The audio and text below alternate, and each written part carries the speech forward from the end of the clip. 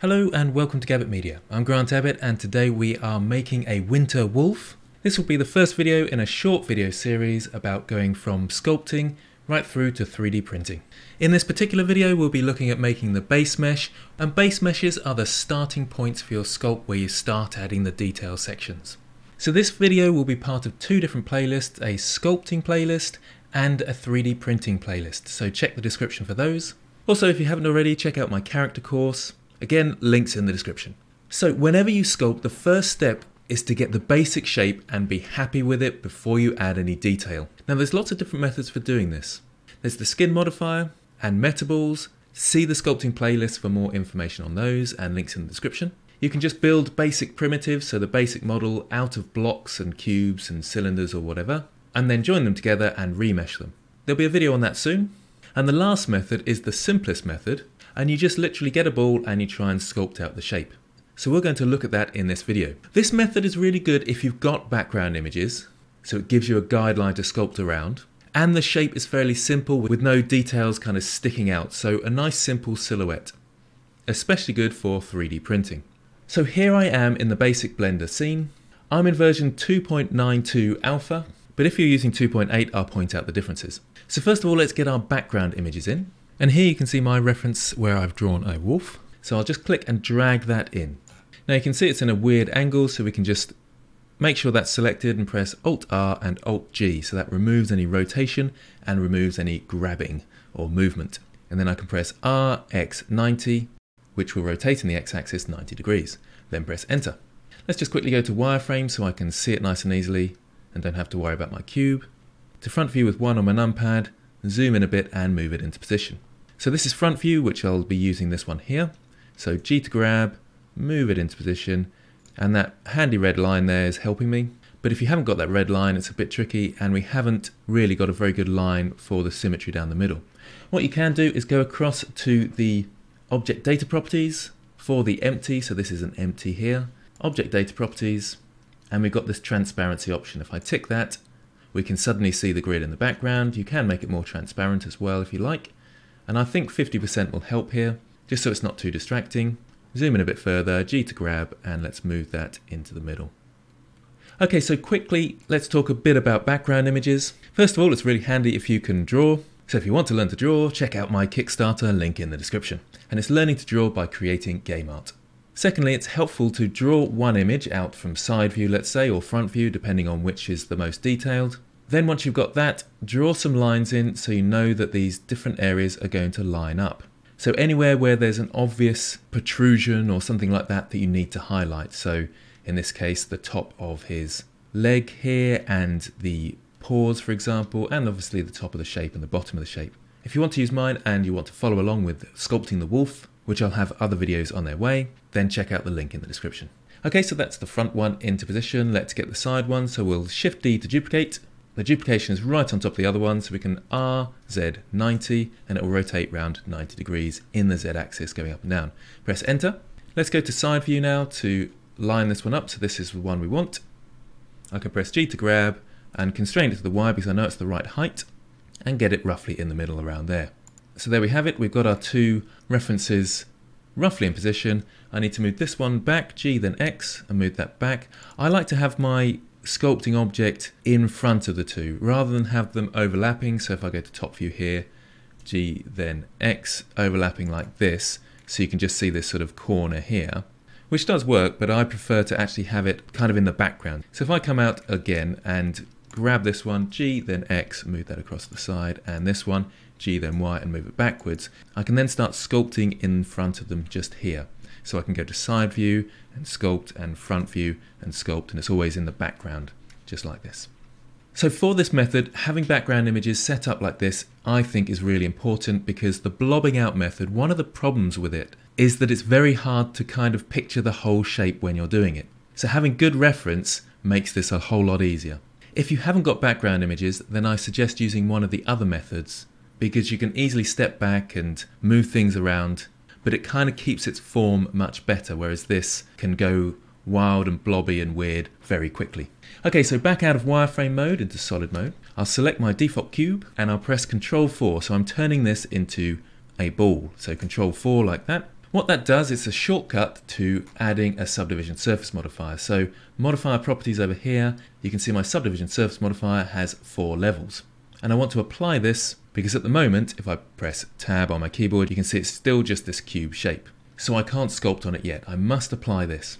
So back into object mode with tab, and if you're in 2.8, you'll have an apply button there. In 2.9, it's down where this drop down arrow is, and you can press Control A as a shortcut. So with my mouse over the modifiers, I can press Control A, and it's applied it. Now, when I go into edit mode, you can see this is the actual geometry, not just a basic cube with a modifier. So I'm happy to go into sculpt mode.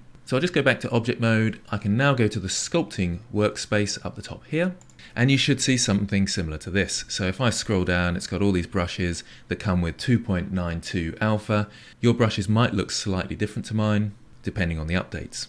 I'm not using anything special in 2.92. This should work fine in 2.8. Okay, so the brushes we'll be using, if I scroll back up, there's the grab brush and the snake hook tool. You can probably just stick with the snake hook tool, but if you're finding it awkward in any way, depending on your shape, the grab brush might be for you but I do like the snake hook tool. Okay, so I'll go to front view, and what I'm going to need to do is try and line this up with this object in the background. If your object has symmetry, then do make sure you have the X symmetry ticked, then you will only need to do half your shape. Resize the brush with F, and then start squishing it into position with the snake hook brush. So just squish it along into position like this. I'll zoom in a bit on that, pull this leg out, and squishing it around.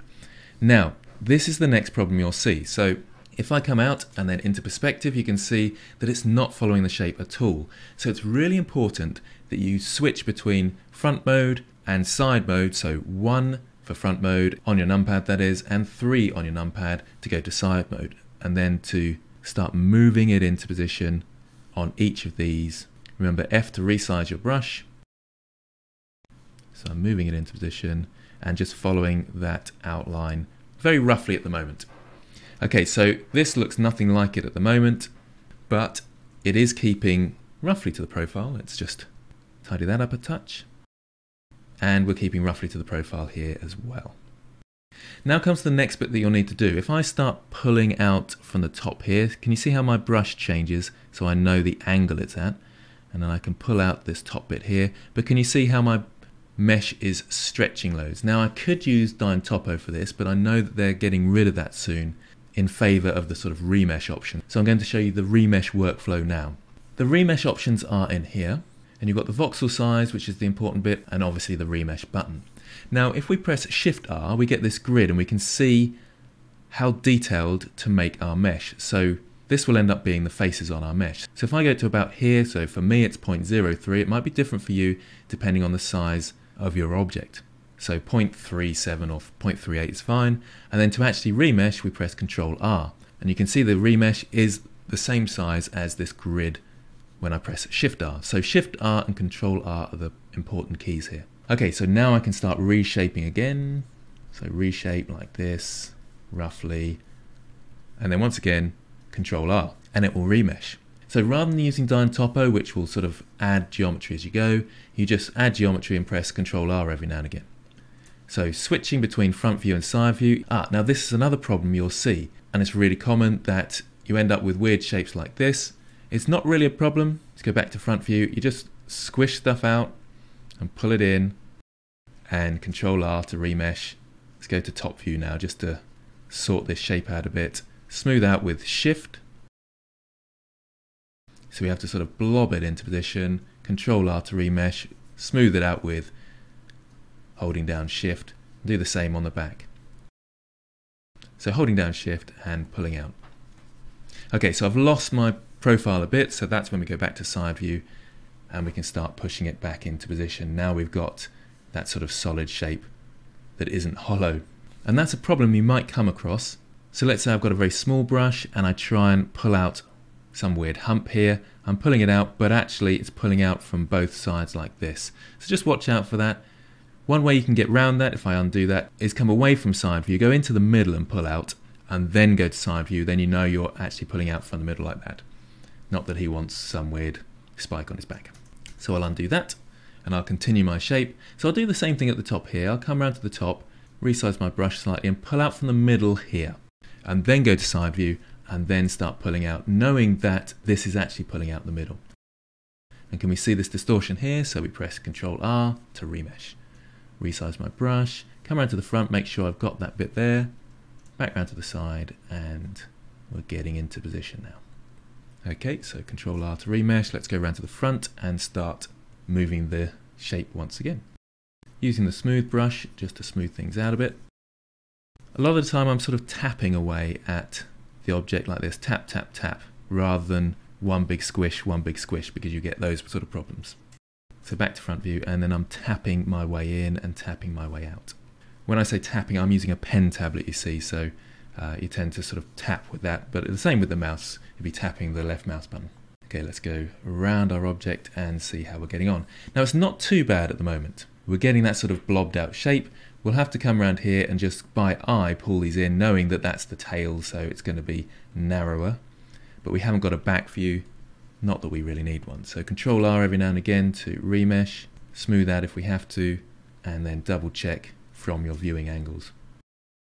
Do remember Control R to remesh. And also remember Shift R to get this grid. So if you're in a position where you think I can start adding a bit more detail now, let's make that grid a touch smaller, maybe to 0.27 instead, around there, and Control R to remesh, and you can see it's a lot finer now.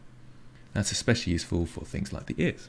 So for the ears, in my case, so they're two small protrusions, I should be able to pull from here and outwards. Let's Control R that to remesh, and then pull out again. So somewhere around there, but they're not separated as you can see. So let's undo that and make sure you're coming out from that angle there. Back to side view and let's pull them out properly this time. Control R to remesh and let's see how that's looking instead. That's a bit better. So the problem areas you're going to have with this method are where there's a bit more detail and undulations like this in the mesh. So at that point, going to this sort of 3D view is a good idea. Also, another thing that you might find helpful is maybe bringing out your outliner up the top here and changing it from the outliner to the, the image editor. We can then open up our wolf image just so we've got a view there of our wolf. It's not so important, but if you're close in, you might just suddenly want to think about what your shape is. And at this point, I like to use my draw brush.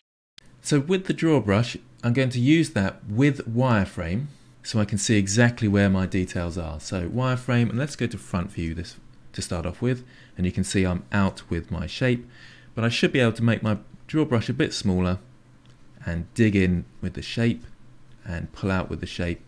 So adding geometry is normal, but to dig in is holding down control. Okay, I think this will help more with the snake hook, so I'm going to use that again and just pull that in. So jumping between the draw brush now and the snake hook brush got this middle section here as you can see. Hopefully you can see this. It's a little bit tricky to see on screen with wireframe. Z to get this pie menu and you can quickly go back to solid mode. There's a bit of smartening up to do so we can start drawing that in. So again I'm looking at this up here and we want a digged in section, a sort of crevice in here and that's where the draw brush is going to be handy.